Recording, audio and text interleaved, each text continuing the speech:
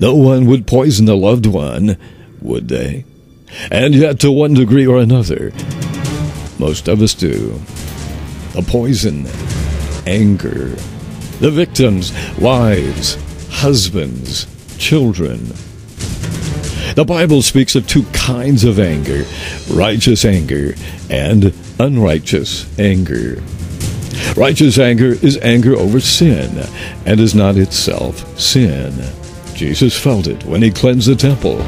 He felt it when he rebuked the religious leaders of his day. We too are right to feel angry over sin, but we must do so carefully, or even righteous anger can lead to sin. Should we become hateful, seek vengeance, or become unloving? Therefore, God warns us, saying, In your anger, do not sin. But there's another kind of anger, and it is always sin. Unrighteous anger.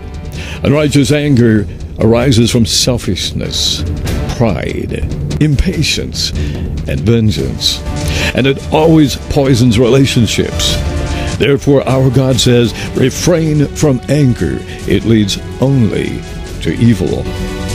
Troubles will indeed arise in any relationship, and they will need to be lovingly and patiently worked on and hopefully resolved. But never are we to use the poison of anger. Never are we to return anger for anger. Instead, in the power of the Holy Spirit, we are to persistently strive to never again poison another. Now you must rid yourselves of anger. No one would poison a loved one, would they? Would we? Would you?